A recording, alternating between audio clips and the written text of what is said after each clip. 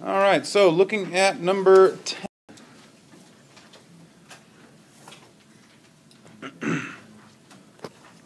now, please remember that yesterday I said that there are two ways of uh, graphing these absolute values. Okay? Two ways that I want you to worry about. One was plotting points, the other was using the slope of the right side, right? Both methods, you need to find your vertex first. Okay? So your vertex is always located at these two numbers, right? This is your x, this is your y variables. But remember, what's the little phrase we have to remember here? x is hexed, y is y's. So therefore, our vertex is located where? Positive 2, 3. Positive 2, 3. X is hexed, y is y's. Okay? Um, if you're going through, I'm going to talk about plotting points first. Remember, there's two methods. Plotting points will, will work for you, okay? If you decided to plot points, I know that some people like that method better. Um, what you need to do is you need to center your points around the vertex. Okay? You need to center your points around the vertex we need to make sure that that is the center of where we're checking so that we can see both sides of the V, right? Remember we had that issue the first day where we'd only be plotting points and see one side and it looked like a line. Well, we want to see the whole V, so we've got to center around the vertex. The other thing is, is I want to make my life as easy as possible. Okay? So I want to go through and work with some friendly numbers. Meaning, if I say I plugged in uh, 5 for x, if I plugged in 5 for x, what's 5 minus 2? Hello, yes, it's 3. Okay. 3, what's the absolute value of 3? 3. 3. And what's negative 1 fourth times 3? Negative 3 fourths. I don't want to take negative 3 fourths plus 3, and I got to worry about common denominators, and I got to worry about graphing that point. Okay? I don't want to do that. I want to get rid of the negative 1 fourth when I go through and plug in for x. So what I want to do is I want to multiply negative 1 fourth times a number that is divisible by 4. Meaning I want to multiply it by, say, 0, because that would get rid of 1 fourth, right? I want to multiply it by 4, because that would get rid of 1 fourth. I want to multiply it by 8. That would get rid of 1 fourth, right? So I want the stuff that's inside my absolute values to equal 0, 4, and 8, or negative 4 and negative 8. All right? So looking at our vertex, if we go to 2, 3, we have our axis of symmetry at x equals 2, because remember the axis of symmetry is always the line that passes through our vertex. So it has this, it's the same value as our x coordinate of our vertex. And so right here is our axis of symmetry. And when I'm picking values to the right of my vertex, I don't want to pick 3. Okay? What would I want to pick instead? What would make x minus 2 equal 8? Or equal 4? Or equal something that's easy to work with? Well, 2 minus 2 is 0, but we already have that point. That's 3. So try 6. If x is 6, or if x is 10, because 10 minus 2 is 8, right? Again, these are our friendly numbers here. That's what we want to try to get. How about to the uh, uh, left of our vertex? I want to plug in Negative 2. Because negative 2 minus 2 is negative 4. Negative 4 is divisible by 4. I want to plug in um, negative 6. Negative 6 minus 2 is negative 8. Negative 8 is divisible by 4. The whole point of this, if you're wanting to plot points, which, by the way, it'll work, but is it the quickest way of graphing these things? No, it's not the quickest. Okay? But if you're someone who you, that's the way you want to do it because you know how to plot points, then by all means do it this way. But give yourself a chance by getting some, some easier numbers to graph. You want this stuff inside the absolute value to be divisible by 4. Why? Because I'm multiplying by 1 fourth. Okay? So if I plugged in those values, what's 10 minus 2? 8. Absolute value of 8 is 8. Negative 1 fourth times 8. It's negative 2. What's negative 2 plus 3? 1. All right, 6 minus 4. I'm sorry, 6 minus 2 is 4. Uh, absolute value of 4? 4. 4 times negative 1 fourth. Negative 1 plus 3. 2. Negative 1 plus 3. Okay, negative 2 minus 2. Negative 4. Absolute value of negative 4. 4. 4 times negative 1 fourth. Negative 1. Negative 1 plus 2. 2. And if I plug in negative 6, we'll cut to the chase, I'm going to get 1. Okay? so I can plot those points. All right, but I'm not going to plot those points at the moment because the second method that we would use is just the slope method. You still got to find your vertex, but then you say that A is negative 1 fourth. A is the right side slope. And so from your vertex, all you do is count a slope of down 1 to the right 4. Brings us to a point at 6, 2. Oh, by the way, 6, 2 is one of the points we were going to plot. You mirror that to the other side.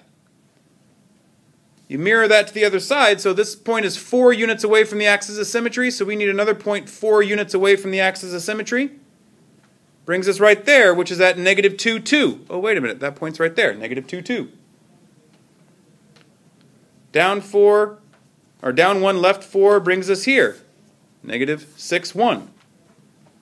Okay? And there's our graph. So counting the slope is much faster, but it's not the only way to do it.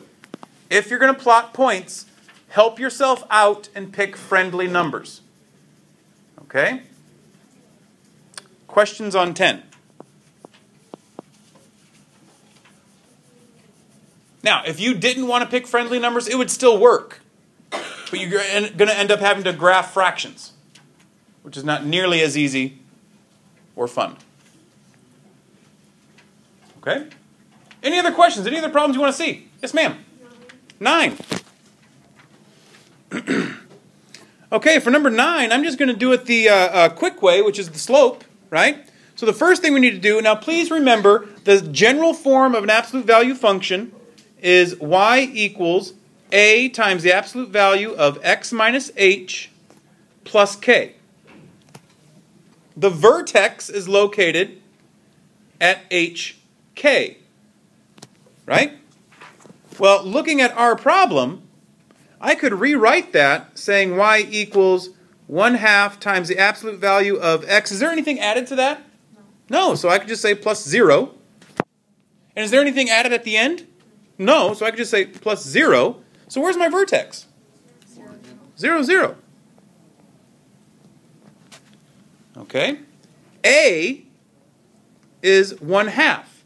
So again, remember, that's the right side slope.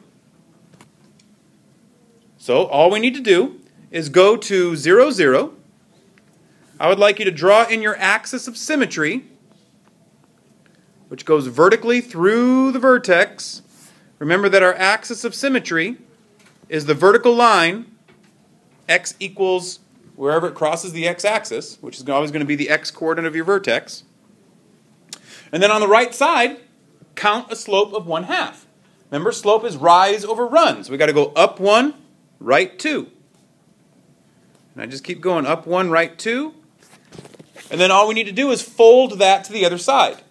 Okay, you can just mentally fold it. You don't actually have to pick up your piece of paper. But that's what we're doing. We're folding it over, and every point then gets mirrored to the other side.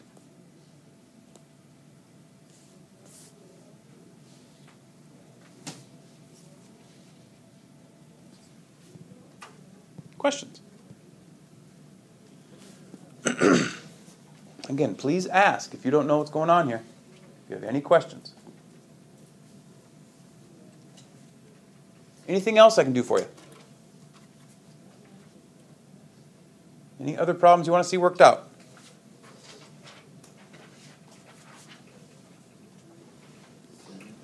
Number seven? Sure. All right, looking at number seven. Um, and number seven, what's our A value? One. Yeah, there's no number out in front of there, so it can't be a zero, because if I took zero times an absolute value, that whole thing would go away. Right? So it's a one sitting out in front there. And we need to find our vertex. Okay, but remember the little phrase, x is hexed, y is y's. So therefore, our x coordinate is what? Negative 2. Our y coordinate is positive 3. Our axis of symmetry is located where? x equals negative 2. Write the entire equation. I'm to have you guys write that down because that's going to be a question on your tests and quizzes. Is given this equation, what's the axis of symmetry? And you have to write the entire equation to get it correct. Okay, the equation of that line is x equals negative 2. So make sure you write that down. So x equals negative 2 is this line right here. Our vertex is at negative 2, 3. And you guys told me the slope of the right side is 1, which means 1 over 1. So rise of 1, run of 1. And all we got to do is fold that to the other side.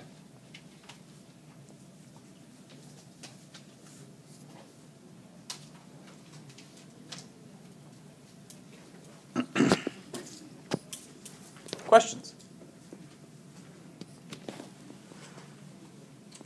Anything else you'd like to see? Number 11.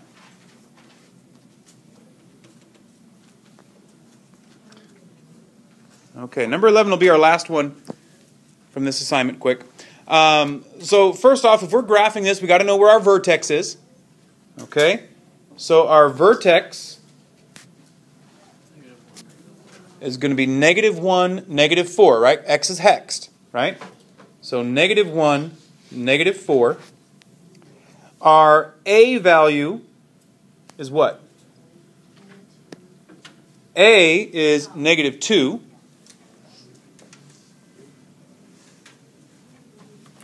A is negative 2. And our axis of symmetry is, how do I write it though? X equals negative 1. Yes. Got to give me the equation of the whole line. So x equals negative 1 sits right here.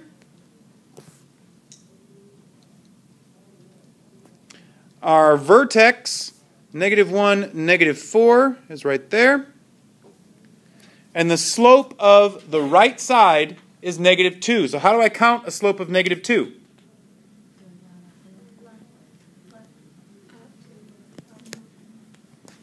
Rise over run. Rise over run means I'm going down two. Over is which way? To the right one.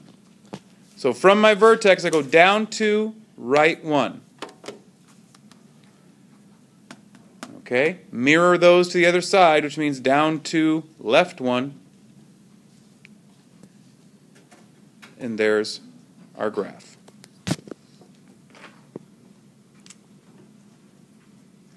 Any questions? Okay, first and last name at the top, turn those in. All right, so one example I want to do is when writing equations of absolute values. We did this as the last example yesterday in our notes. I want to do another one just to make sure we're all on the same page here. So let's say I have this graph. Let's go there and let's have it go up like this.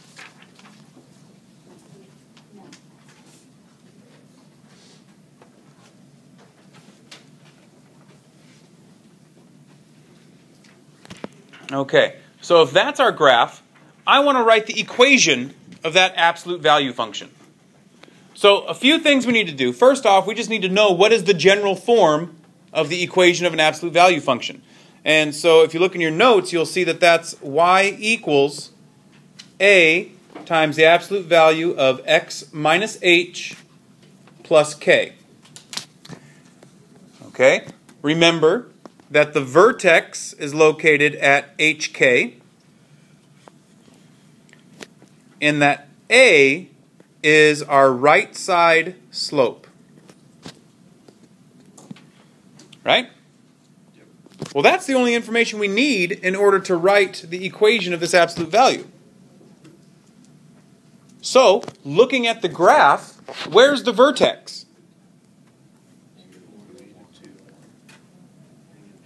Negative 2, 1.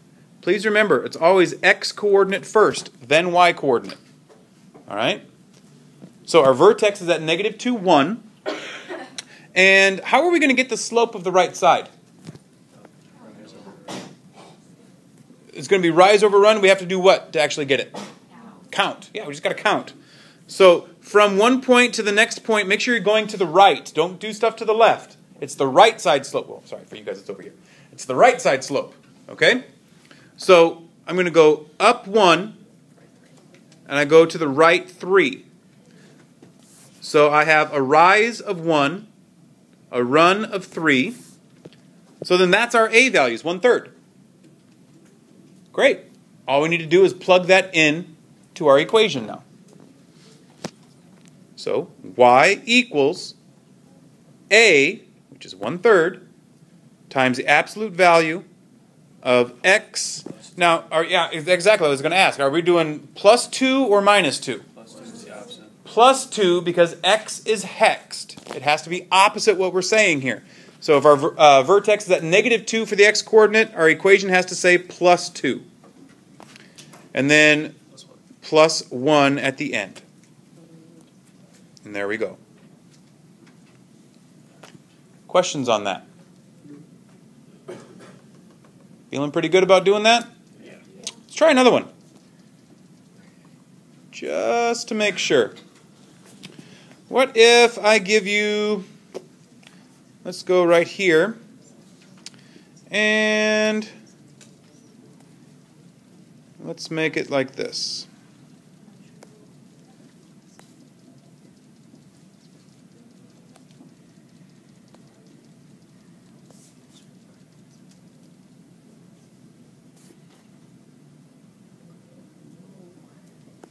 Okay, so there's our graph. I would like you guys to take a moment and try to write the equation of this graph. You can discuss it with the neighbors around you. We should first be finding our vertex. Please remember, all points are listed x coordinate first, so this should be at 3, 0. And now we need to find the slope of the right side. So the slope of the right side, I'm going to start counting from my vertex. I go down, 1, 2, 3. So my slope of the right side is going to be negative 3 over, I go to the right, 1, 2. Negative 3 over positive 2. So the general form is y equals a times the absolute value of x minus h plus k. So plugging into that, a is negative 3 halves times the absolute value of x. Now, am I going to say plus 3 or minus 3? Minus. Minus 3, because x is hexed. It has to be opposite what we have going on up there. And then, do I need to write plus 0 at the end? No. No, I don't need to. So there's our equation. Um, counted wrong? No, but it, it's kind of a redundant thing. Please try to get past doing that, okay? Any other questions on problems like this? Okay, then I have another type of problem I want you guys to look at. Again, we talked about this yesterday briefly. I want to make sure you have another good example of it. What if um, I have the equation y equals the absolute value of negative 2x plus 6 plus 2. And I want to graph that. There's an issue here. The issue is every problem that we've worked, if you happen to look back at um, our standard form, or general form, out in front of the x inside there is a 1, right? A positive 1. We don't want that coefficient of x to be anything other than positive 1. Well, the problem with what we're dealing with here is that the coefficient of x is negative 2. Now remember, I'm talking about inside the absolute value, not outside the absolute value, right? Okay, so what we need to do then is we need to factor out a negative 2. Keep it inside the absolute values, though. Keep it inside the absolute value. So we have y equals the absolute value of negative 2 times, well, then what's left inside? x minus 3. Okay? And the reason we want to do that is, again, yesterday I told you guys about a rule from algebra that says the absolute value of a times b is equal to the absolute value of a times the absolute value of b. Okay? Well, that's exactly what we want to do here. We want to break that up and say we've got y equals the absolute value of negative 2 times the absolute value of x minus 3. Well, what is the absolute value of negative 2? 2. 2. So we have y equals 2 times the absolute value of x minus 3 plus 2. This equation we can now graph. Bless you. Again. We can now graph that. Where's our vertex located? 3, 2. And what's the slope of the right side? 2 over 1, or just 2. Yep. So, graph your vertex. 3, 2. Please draw in your axis of symmetry as well. It always goes vertically through your vertex. And now on the right side of our vertex, we count a slope of 2 over 1. So up 2, right 1. And we need to mirror all those points to the other side.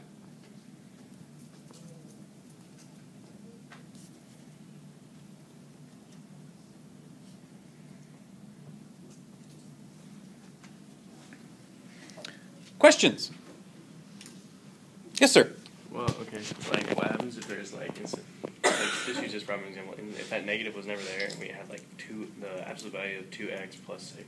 Then you would just factor out a positive two. Just factor it out and same same thing. It's the exact. You still have to do the exact same work. Yeah. Okay. It's just here you're going to have a positive two, which means down here you're taking the absolute value of a positive two, Which is still two. which is still two. Okay. Yep. Okay. Yep. Good questions. Anything else?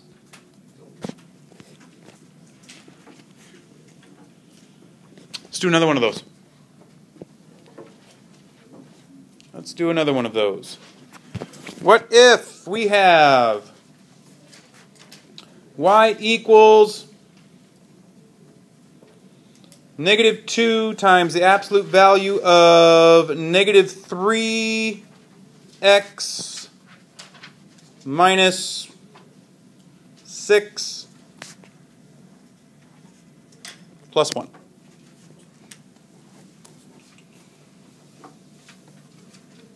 Looking inside the absolute value, what do we have to change? What do we have to get rid of in there? That negative 3. We don't want the coefficient of x being negative 3. So we've got to factor out a negative 3.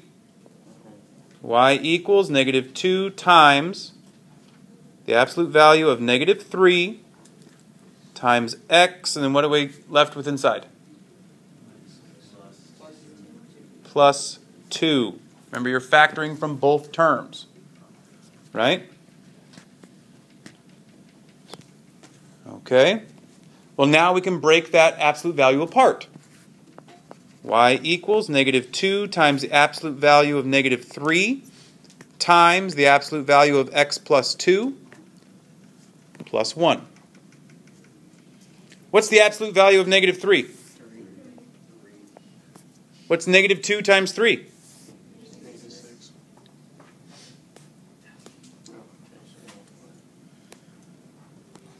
So there we go. That is the equation that we then know how to graph. Our vertex is located where?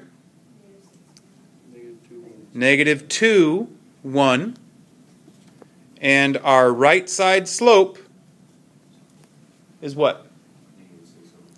Negative 6 over 1. Or you just say negative 6. Yep. All right, so our axis of symmetry is x equals negative 2.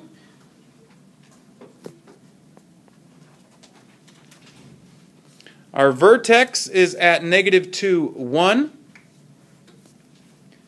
And the slope of the right side is negative 6 over 1. So I've got to count down 6 to the right 1.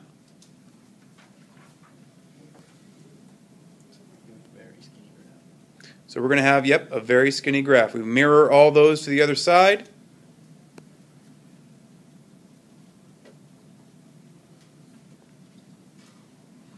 And our graph will look like that. Questions? No? Feeling good? Doing all right? Beautiful. Let's try some homework.